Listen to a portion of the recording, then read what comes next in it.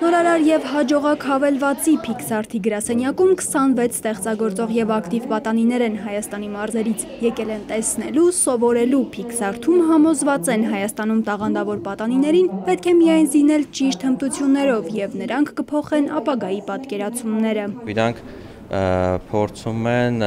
զարգացնել, չգիտեմ, կրեատիվությունը, փորձում են մարդիկ ավելի մի քիչ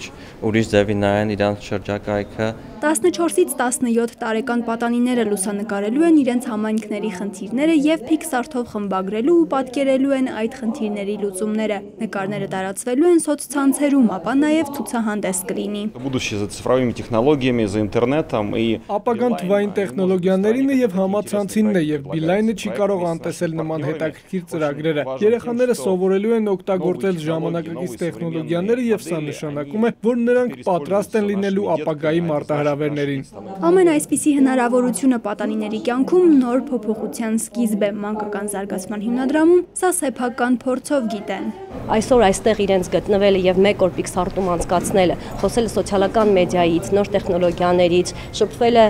Pixar-ի եւ Viline-ի գործադիր տնօրենների հետ դա լուրջ մտածելու առիթ է տալիս այս սուր մտքով երեխաներին։ Մարզերից եկած պատանիներին տեխնոհմտություններ սովորեցնելը նշանակում է նրանց աչքով գտնել համայնքային խնդիրներն ու լուծումները, դրանց վրա պետական, տեղական ինքնակառավարման մարմինների ուշադրությունը հրավիրելու ձևը։ Անի Ավետյան Խաչատուր Եսայան ժամը լրատվական։